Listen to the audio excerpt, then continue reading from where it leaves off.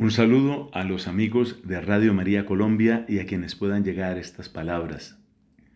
Soy consciente de que en estos últimos días hemos informado varias veces sobre el tema de las vacunas contra COVID-19.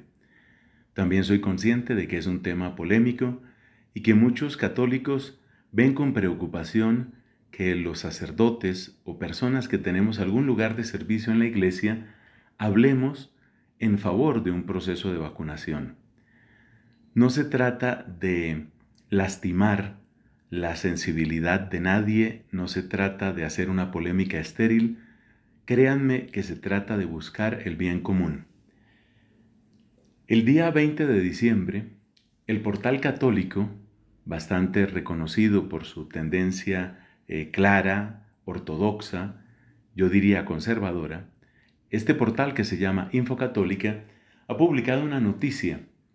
Médicos católicos de Croacia afirman, no hay barreras éticas contra vacunas COVID-19 de Pfizer y de Moderna. En un comunicado publicado por el Consejo Ejecutivo de la Sociedad Médica Católica Croata, los médicos católicos señalan que Ciertamente no existen barreras éticas que impidan que los católicos se vacunen. Quiero recordar la tradición, la profunda tradición que tiene la fe católica en Croacia, uno de los países que lleva una línea de continuidad y de fidelidad a la Iglesia Católica con mayor extensión en todo el mundo. Y se trata aquí de la Sociedad Médica Católica de ese país, que da esta certificación. Miremos, eh, miremos un poco más de, de esta noticia. De acuerdo con los resultados de los ensayos clínicos de las vacunas basadas en ARN mensajero, es decir, ácido ribonucleico mensajero, que es la tecnología propia de estas vacunas, siguen afirmando estos médicos, las personas que reciban estas vacunas tendrán una protección del 95% contra COVID-19, con un pequeño riesgo de reacciones adversas locales y a veces sistémicas, limitadas a las primeras 48 horas después de la administración. Lo que acabo de leer es textual.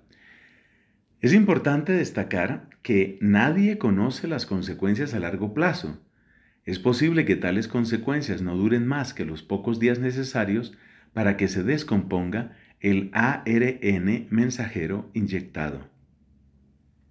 Es evidente que pueden darse consecuencias a largo plazo. Como decía un médico en otras declaraciones, yo he tratado de seguir muy de cerca estas noticias, decía, es que hay muchas cosas que nosotros desconocemos a largo plazo. Piense usted, si es padre de familia y si usted ha vacunado a sus hijos contra el sarampión o contra alguna otra enfermedad, tenemos una certeza absoluta del 100% de que no se va a presentar ningún efecto adverso en ninguna persona de ningún país en ninguna época, ese tipo de certezas no las tenemos. Pero los estudios nos dan unos altísimos márgenes de seguridad que yo creo que son importantes para nosotros. ¿Por qué vuelvo sobre este tema de las vacunas? Porque yo considero que hay que quitar la idea de que ser católico necesariamente es oponerse a todo lo que propongan los gobiernos, es oponerse a todo lo que propongan los científicos y es oponerse a todo lo que proponga la tecnología. La posición católica tradicional, la posición católica de siempre ha sido que es necesario examinar y es necesario discernir.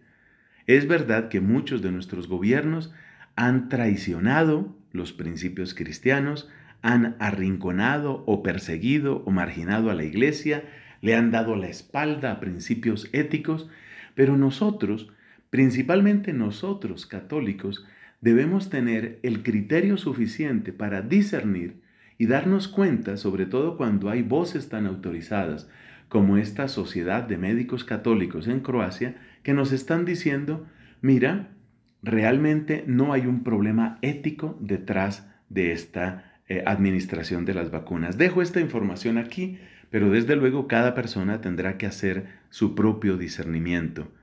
Estuvo con ustedes Fray Nelson Medina, de la Orden de Predicadores.